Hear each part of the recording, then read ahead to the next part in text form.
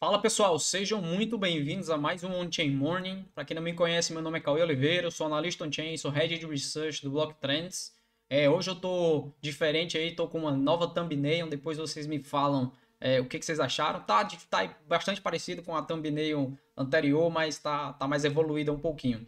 É, hoje a gente vai falar sobre um estudo que eu publiquei ontem lá no Block Trends Research. Esse estudo vai estar aqui no link da descrição. É um estudo aberto, gratuito, que fala sobre a inflação da rede do Bitcoin e eu trouxe lá publicamente também no Twitter. Hoje eu queria fazer alguns comentários, porque eu sei que algumas pessoas me acompanham pelo YouTube, mas não pelas outras redes sociais, então vale a pena a gente comentar um pouquinho como foi a construção desse estudo, até mesmo para que vocês também aprendam é, a formatação de alguns conceitos fundamentais da rede do Bitcoin, que são importantes que todos tenham em mente, tá? Também eu vou fazer um apanhado sobre a atual estrutura de mercado aí depois, principalmente por conta da gente estar tá tendo uma retração de preço aí é, no dia de hoje, então seria interessante a gente ver algumas informações relevantes para essa ação de preço. Mas antes da gente começar, eu queria é, já pedir para que você que ainda não é inscrito se inscreva aqui no canal para a gente continuar fazendo esse trabalho e trazendo mais pessoas para conhecer esse tipo de conceito de estudo de mercado, que é um tipo de conceito mais avançado, mais aprofundado sobre a rede do Bitcoin e que tem como foco os fundamentos on-chain, os fundamentos intrínsecos da rede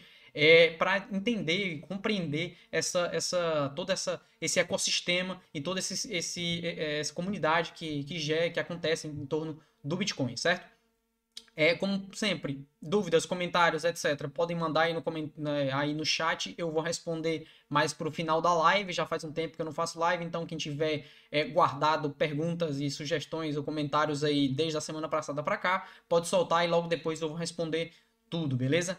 Então vou passar aqui para minha tela para a gente já começar a falar sobre o estudo. O estudo que eu estou me referindo é esse daqui, tá? Que, que com o título é Bitcoin inflacionário ou deflacionário. Esse estudo foi publicado ontem lá no Block Trends Research e tá é, livre aí para qualquer uma pessoa é, acessar, basta fazer um cadastro, um cadastro é, gratuito e vai ter acesso, tá? Mas eu não vou falar sobre o estudo em si, a gente vai ver é, diretamente no gráfico como é que foi a construção desse estudo e principalmente porque que é importante a gente compreender é, tanto a emissão do Bitcoin quanto as suas perdas. E aqui a gente já vai entrar em alguns conceitos on-chain bastante interessantes que muitas pessoas é, desconhecem, né? É, e são conceitos básicos, são conceitos fundamentais da rede do Bitcoin, estão lá inseridos desde o início, é, é, desde da, do bloco Gênesis, desde do, do início mesmo da blockchain do Bitcoin, tá? Principalmente aqueles que dizem respeito à quantidade de moedas, porque a quantidade é, é, limite de moedas é o que dá a escassez programada da rede do Bitcoin,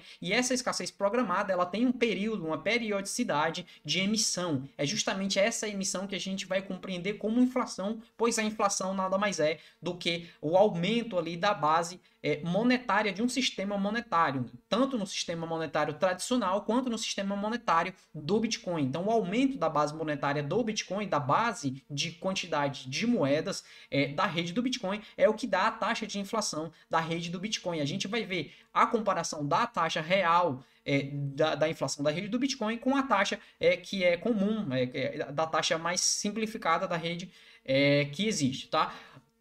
Para isso, a gente vai entender principalmente a oferta circulante. Tá? Então, a gente já tem hoje cerca de 19 milhões 349 mil é, e 175 bitcoins já emitidos. Né? Então, isso significa que, que quase 100% da rede já está é, é, já tá emitido partindo do princípio que o limite de emissão será 21 milhões de unidades, mas a gente ainda tem alguns bons anos, principalmente porque essa, essa emissão vai ficar cada vez menor ao longo do tempo.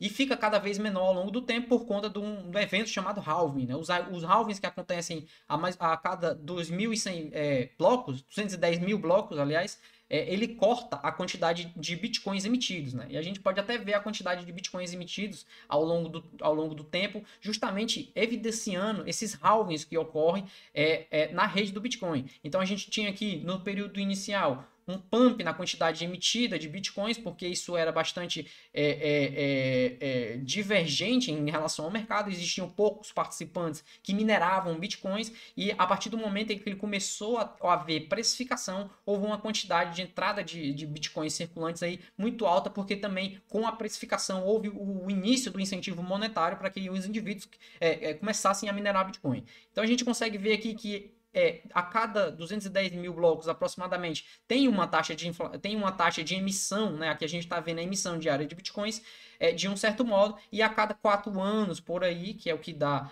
é, esse período de 210 mil blocos no nosso calendário, no nosso tempo aqui é, é, tradicional, né? E a gente vê que a cada, cada período desse de quatro anos, que é o halving, a oferta que a quantidade de bitcoins emitidas cai. Isso acontece todos os halves justamente para que em determinado momento no futuro, daqui a uns 80, 90, 100 anos, é, a quantidade de bitcoins emitidas seja igual a zero, tá? Então a gente vê aqui no período de 2014, 2015, é, entrando cerca de 3 mil, 4 mil bitcoins é, por dia, tá? É, na rede, sendo emitidos. Depois, a partir de 2016, a gente já viu isso caindo para 1.700, né? 1.900, 1.800. A gente tem uma média, varia de acordo com a taxa de poder computacional que está sendo aplicada na rede naquele determinado dia. É, e depois aí, desde o último halving, né? Que foi ali em 2020, em maio de 2020, a gente caiu aí de 1.700 em média bitcoins emitidos para é, cerca de 700, 800, é, em média 800 e poucos é, bitcoins sendo emitidos aí na rede do Bitcoin desde lá para cá, certo? Essa variação aqui da emissão de bitcoins é justamente o que dá a taxa de inflação, porque basicamente a taxa de inflação aqui seria é, a quantidade de bitcoins emitidos em comparação com o valor total circulante já na economia, já na economia do Bitcoin. Né? Então a gente está vendo a quantidade de bitcoins que está sendo emitido em comparação a esse número aqui, que é a oferta circulante, ou seja, o último valor que nós tivemos aqui é, podemos botar aqui hoje, né?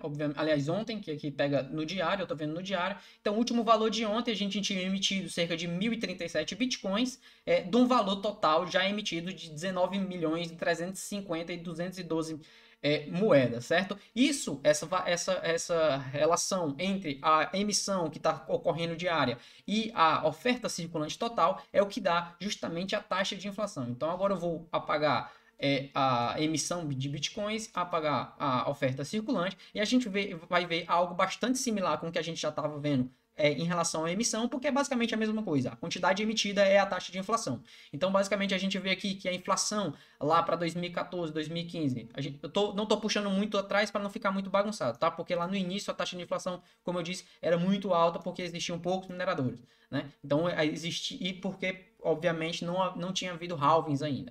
Então, aqui em 2015, por aí, 2015 para 2016, a gente tinha uma, faixa, uma taxa de inflação aí de 9, 8, 9%, né? Depois a gente passou para 3, 4% e agora a gente está aqui numa, numa taxa de inflação que está rondando aí os 8,7, 8,8%, que é a taxa de inflação atual. Só que essa taxa de inflação atual ela só está levando em consideração a emissão de moedas, tá? E o que eu quis trazer nesse estudo é justamente a outra, o outro lado da moeda que seria é, a perda de, de moedas, né? A perda de moeda, do lado da moeda, essa essa relação não, ficou legal. Mas, enfim, o que eu estava querendo dizer é que eu quis trazer o outro lado da perspectiva de emissão de bitcoins para ver quantos bitcoins estavam sendo perdidos. Então, existem várias formas da gente conseguir compreender isso, tá? Existem vários estudos que mostram quantos bitcoins já foram, já foram perdidos. Eu aqui quis utilizar a oferta que estava inativa há mais de 10 anos. Por quê? Porque provavelmente a maior parte dessa oferta que está ali imóvel há mais de 10 anos provavelmente não vai se mover nunca mais. Por quê? Porque se ela já está, se um indivíduo tem um Bitcoin em carteira que já não mexe há 10 anos, há mais de 10 anos, provavelmente é porque esse indivíduo não tem mais as chaves privadas daquele endereço. Então aí a gente compreende como se esse Bitcoin estivesse é, já perdido. Porque um, um Bitcoin dentro de um endereço que não tem mais chaves privadas, ou seja, que o, que o, o dono daquele, daquele endereço, daquela carteira, né, como muitos falam, é, já perdeu essas chaves privadas, ele nunca mais vai conseguir acessar esses bitcoins novamente. Isso significa que essa oferta de bitcoins, essa quantidade de bitcoins, deixa de estar em circulação na economia do Bitcoin. Isso faz com que esses bitcoins estejam perdidos. Na verdade, eles sempre estarão lá dentro da blockchain, mas eles não estarão mais em circulação disponível para ser negociados para o mercado e disponível para serem adquiridos. É por isso que, na minha concepção, a gente pode entender que a oferta de bitcoins que não se move há mais de 10 anos, ela é uma oferta que nunca mais vai se mover, porque esses indivíduos já não têm mais, provavelmente, as suas chaves privadas. Ah, Cauê, mas é toda a oferta que não se move há mais de 10 anos é que está perdida? Não. Talvez alguém ainda vá achar alguma carteira, alguma chave privada, ou talvez algum indivíduo que, é, que tem um nível de psicopatia muito alto, tá de fato rodando há mais de 10 anos, é, não sei, mas é, podemos estipular, podemos ter uma estimativa que pelo menos uns 98, 95% dessa oferta de fato é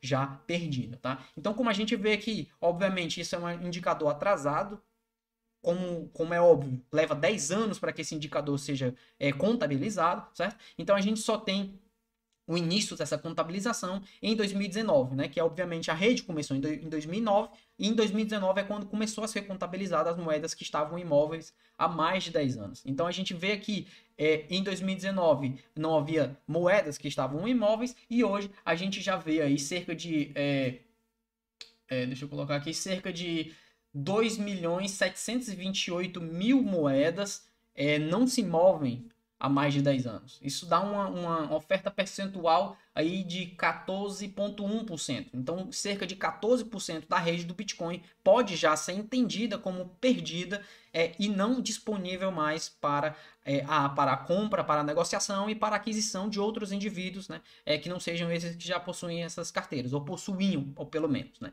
Isso significa que, além da oferta ficar cada vez mais escassa pelo halving, por ele diminuir a quantidade de emissões de moedas ao longo do tempo, é como eu expliquei para vocês aqui, ainda tem a questão de que mais moedas vão entrar dentro desse cohort, dentro dessa classificação de bitcoins que não se movem há, há mais de 10 anos, e aí elas estarão também é, indisponíveis para a negociação do mercado. Isso significa que a gente agora tem duas forças de escassez. A escassez programada, que é aquilo que estava no código, a emissão é que vai sendo cortada pela metade a cada quatro anos aproximadamente, e a gente tem uma segunda força de escassez sendo gerada pelos indivíduos que estão perdendo moedas diariamente. E quando eu digo diariamente, é bom a gente ter em mente que a quantidade de moedas perdidas é muito maior do que isso aqui.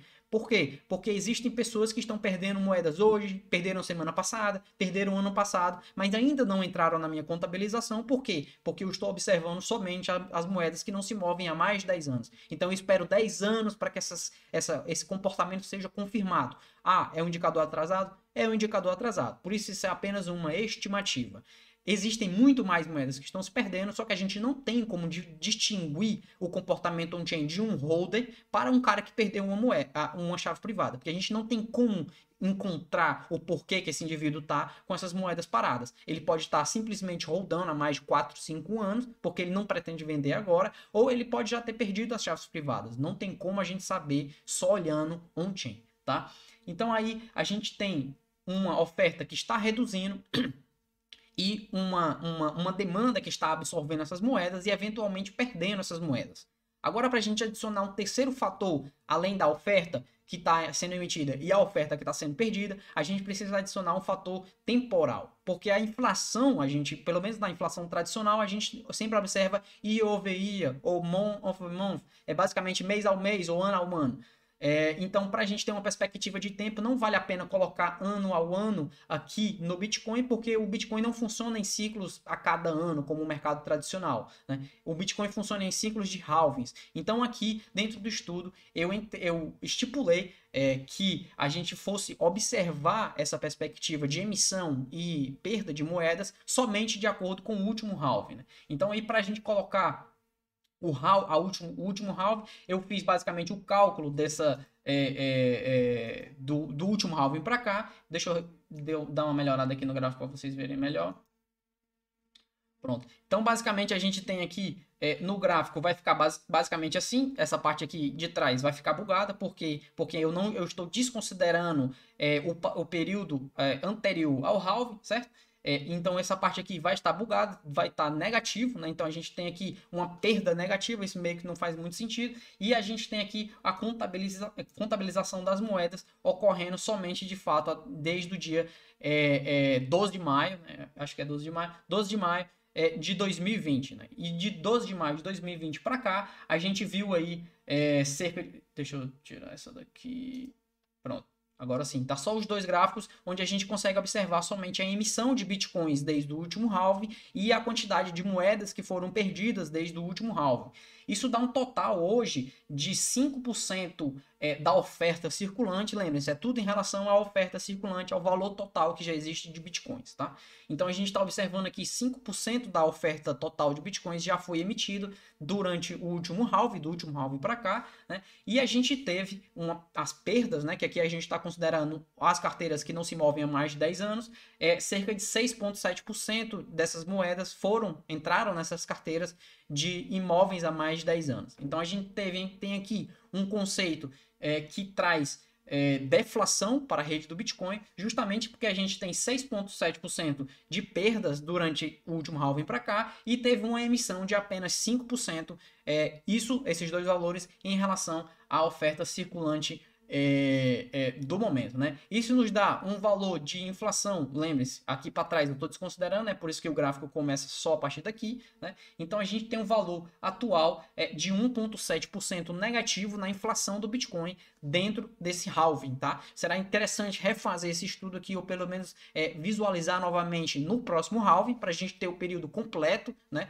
é, é, de observação, mas até o momento, dentro desse halving, o Bitcoin tem sido deflacionário de acordo com a quantidade de moedas que está sendo perdida e a quantidade de moedas que está sendo emitida, tá? Então era isso, era basicamente esse o estudo para você que tiver interesse em entender mais. Aqui eu fiz um resumo, fiz uma trouxe de forma mais simplista para que a gente não se estenda muito a live, porque eu ainda vou falar sobre é, o price action do Bitcoin, mas se você tiver interesse, tá lá, vai estar tá, tá aqui no link da descrição é, esse estudo, onde eu tenho os gráficos todos e estou explicando aqui de forma mais, é, é, mais explicadinha, mais detalhada. É, então eu rec recomendo e aconselho que vocês é, também confiram aí esses outros, esses outros gráficos e esses outros comentários que estão lá no estudo, tá? Então vou passar aqui para o Bitcoin, Bitcoin atual, tá? É, espero que todo mundo tenha entendido essa parte mais fundamental da nossa conversa de hoje. Depois, comentários, qualquer coisa, vocês podem deixar aí também nos comentários. É, em relação ao price action do Bitcoin, a gente está encaixotado numa, numa faixa de volatilidade que costuma matar ursos e touros, tá? É, e por que, que eu estou falando isso? Porque, como a gente viu aqui, é, anteontem, na segunda-feira, a gente teve um dump de aproximadamente 3, 4%. Depois, na terça-feira, que foi ontem, é, a gente teve um pump de mais ou menos 3, 4%. E hoje a gente já está vendo outro dump de mais ou menos 3, 4%. Então, isso significa que o preço do Bitcoin está encaixotado agora numa zona que vai capturando é, liquidez de ambos os lados do mercado. Isso acontece várias vezes no, no, na história do Bitcoin. Para quem já tem um pouco mais de tempo de tela, vai ver que já existiam, até mesmo surgiu aquele meme do padrão BART, né? Que é quando o Bitcoin sobe, depois faz aqui uma lateralização e depois entrega tudo, né? Então, basicamente, esse padrão é bastante conhecido no mercado porque ele costuma captar liquidez tanto de ursos quanto de touros. Então, a gente tem aqui o Bitcoin subindo é, e capturando aqui no dia 16, 17, pronto, o Bitcoin capturando essa liquidez de comprados nessa região, depois cap capturando a liquidez dos vendidos nessa região e depois capturando a liquidez dos comprados nessa região novamente, né? Obviamente, sempre que ele captura a liquidez, ele vai na direção oposta. Isso é o que a gente está vendo nesse exato momento aqui, com um volume vendedor bastante, é, bastante significativo aqui ocorrendo agora pela manhã, é, por essa manhã é, no Bitcoin, principalmente na Binance, tá? Esse, esse volume está sendo vendedor bastante é, influenciado pela Binance, mas quando a gente abre aqui um pouco mais do Big Picture, vou colocar no 4 horas, a gente ainda está numa região de suporte interessante, tá? Será importante aqui que o preço do Bitcoin não caia abaixo dos 28.8, que na minha perspectiva é uma das zonas mais importantes de preço agora para o curtíssimo prazo, tá? Isso precisa ser definido primeiro, antes da gente ter um viés direcional de buscar aqui os 33, que é onde eu acho que vai estar tá a próxima zona problemática para o preço do Bitcoin. Vou colocar no gráfico diário, tá? Eu acredito que essa é a próxima zona problemática entre os 33 e os 34 mil dólares, mas a gente precisa ter uma definição. Lembrando, se vocês esticarem um pouco mais o gráfico, vão ver que esse período, esses últimos três dias aqui, tem sido bastante ruído de mercado, tá? Esses ruídos de mercado costumam capturar a liquidez de ambos os lados, mas não dão viés direcional claro. Então a gente precisa primeiro resolver essa situação do curtíssimo prazo, ter um viés direcional é, um viés direcional mais claro antes da gente fazer uma, um, uma previsão de que se a gente vai vir aqui na faixa dos 26 mil dólares, que é o suporte abaixo do atual, ou é, aqui nos 33, que é a resistência é, acima da atual né, de 30 mil dólares, certo? Quem é que teve vendendo, quem é que teve comprando? Bom, a gente tem várias formas de enxergar isso, tá? Tem várias formas de enxergar isso. Eu vou trazer alguns uns três gráficos aqui que mostram a atividade de grandes players desse momento, tá? Então, basicamente, o que a gente teve no número de endereços com balanço mais de 10 mil bitcoins, ou seja, grandes endereços, aqui a gente está vendo até é, é, exchanges e outros market makers também, a gente teve uma queda nesses endereços na última, é, é, nesse último, nesses últimos dias, tá? Em contrapartida, a gente viu aqui que o supply per whale, ou basicamente a quantidade de bitcoins é, por, por entidade, por, por grande player dessa, por baleia dessa. É, baleia, quando eu estou falando aqui, entre 100 a 10 mil bitcoins. Então, estou vendo grandes, grandes players, né? Estiveram aí aumentando a oferta é, nos últimos dias, tá? Então, a gente teve uma, uma redução da quantidade de endereços, mas, por outro lado, a gente teve uma concentração e absorção é, é, de moedas nesses endereços de grandes players já. Então eles estiveram comprando durante esse período e essa volatilidade está sendo justamente essa, essa briga, essa disputa por liquidez entre baleias que estão comprando aqui alguns preços mais abaixo e o varejo que está vendendo fortemente, principalmente porque eu disse que é na, Coinbase, na Binance onde está sendo a maior força vendedora nesse momento. Então a gente pode meio que ter, um, ter uma, uma é, tem uma estimativa de que essa venda é guiada pelo varejo também, tá? É, obviamente tem institucionais também vendendo. É, quando a gente vê aqui em relação aos holders de longo prazo, agora para sair das whales grandes e pequenos, a gente vê agora temporal, né? A gente vê os holders de mais longo prazo também tiveram fazendo movimentações aqui, como a gente tem aqui nesse último spike aqui no canto direito, tá? Então, é, durante essa última correção, durante esses períodos aqui mais altos, a gente também está tendo uma realização de lucro por parte dos holders de longo prazo. Só que isso é comum em todos os ciclos, tá? Todos esses períodos de pressão sobre a atividade dos holders de longo prazo, é, sobre a atividade da rede, é, existem essas realizações de lucros, é, tanto na baixa quanto em períodos um pouco depois, tá? E eu vou mostrar até para vocês aqui no gráfico, vocês podem ver aqui, por exemplo, Aqui no fundo de mercado, a gente vê os holders de longo prazo realizando e depois eles começam a fazer realizações periódicas aqui é, logo que o preço vai recuperando. Isso é para capturar essa, essa, é, é, esse, esse lucro das entradas que fizeram aqui abaixo. Logo depois tem outra realização aqui no topo, aqui outra realização no fundo, aqui realizações de lucro, realizações de lucro, aqui realizações no fundo. Então, geralmente, quando a gente tem spikes acontecendo assim, são ou realizações de lucro pós uma compra abaixo ou são capitulações. Nesse momento a gente provavelmente está vendo é, uma realização de lucro das compras que foram feitas aí em março e fevereiro, certo? Que é justamente, aliás, janeiro, para poder contabilizar é, um holder de longo prazo, certo? É, a gente vê aqui o volume transferido de whales, a gente ainda tem baixo volume em relação com as exchanges, tá? E justamente por isso que eu digo que a gente não não está tendo um grande volume de movimentação por baleias. As, os grandes volumes de movimentações ocorreram em 2022 é, e a última ocorreu aqui durante a, a última perda de paridade do, de, de algumas stablecoins que aconteceu aí, é, como vocês sabem, junto com o colapso bancário. Então a gente teve sim alguma movimentação de whales. Aqui a gente está vendo o volume de transferência de baleias para exchanges, tá? É, e a gente agora está tendo baixo volume de.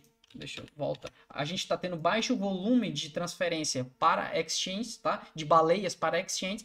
Dá um viés, até confirma um pouco da nossa perspectiva, ó, da minha perspectiva, de que esse movimento de venda não está sendo tão forte, é, fortemente guiado por baleias, e sim por players menores ali na Binance, certo?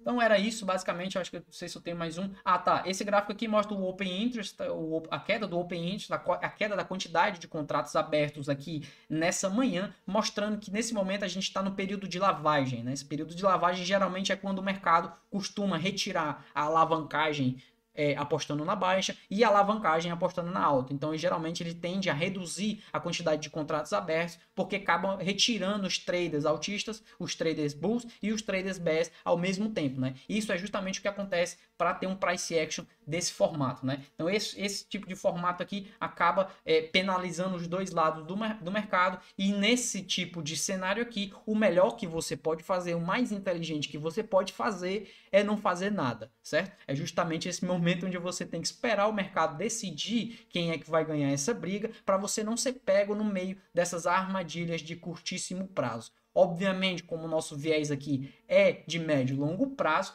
para o médio e longo prazo, a gente ainda está numa região de suporte aqui sobre um price action positivo desde o início do ano, tá? Então vamos aguardar essa movimentação de curto prazo para depois inferir mais algumas compreensões é, de longo prazo, certo? Acho que era tudo que eu tinha para dizer hoje em relação ao mercado, em relação ao estudo, eu não queria me estender muito. É, caso vocês tiverem alguns comentários aí, eu já vou responder agora, é, enquanto eu dou bom dia, tá? É, pro James, eu já dei bom dia, bom dia Marcel, bom dia José, bom dia Ricardo, Albert, Douglas, King Flor, bom dia também. É, o José Antônio Xavier falou, relatório sensacional, obrigado José. É, o Ricardo perguntou, os bitcoins do Satoshi foram incluídos nesse estudo? Sim, sim foram incluídos nesse estudo, incluir o, é, é, o padrão Patoche, que a gente chama, né? Se você tiver interesse em pesquisar um pouco mais, bota no Google é, é Patoche Pattern, que mostra basicamente o padrão de mineração é, do Satoshi e isso, dentro desse padrão de mineração de Satoshi vai encontrar aí os endereços que são é, de posse do Satoshi Nakamoto, certo?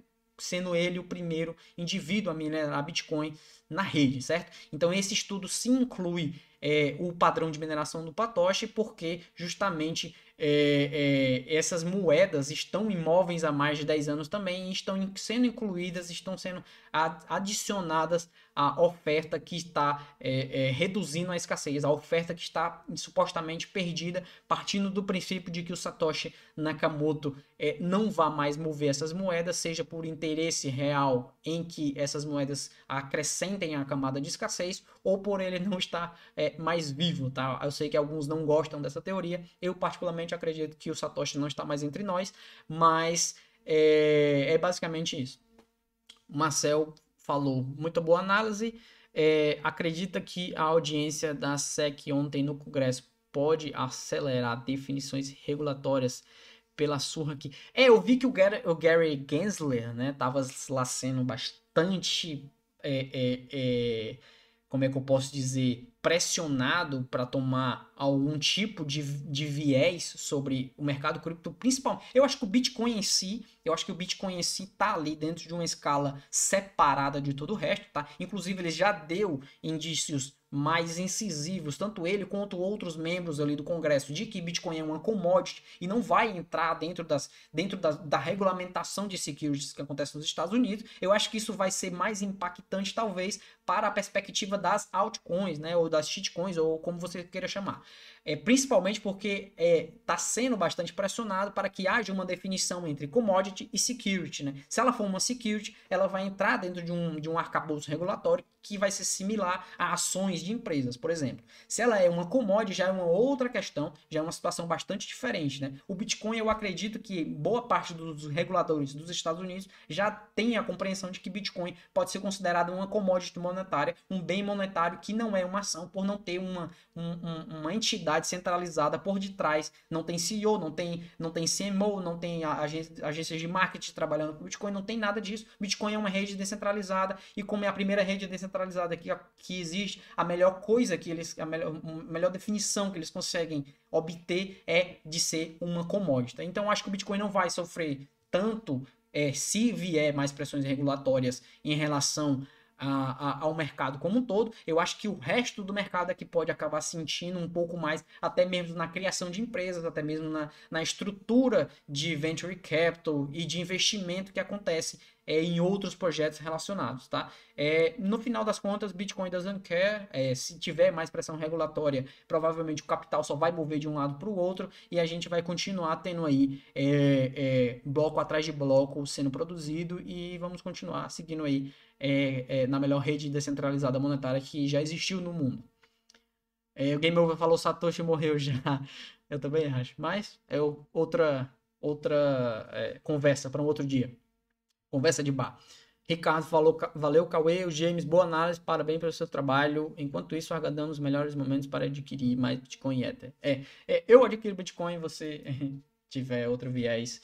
É, pessoal, é isso que eu tinha para falar sobre hoje, tá? É, sobre o mercado e sobre o estudo que eu trouxe lá no Blockchain Research. Para quem tiver interesse em ler esse estudo completo é um estudo gratuito, é só entrar, criar uma conta gratuita e ler todo esse material que está lá disponível. Recomendo fortemente, principalmente para todo mundo conseguir evoluir o seu nível de compreensão sobre a rede do Bitcoin.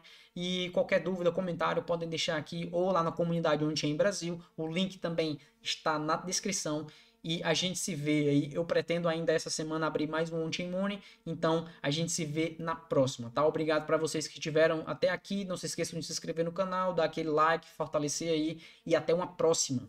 Tchau!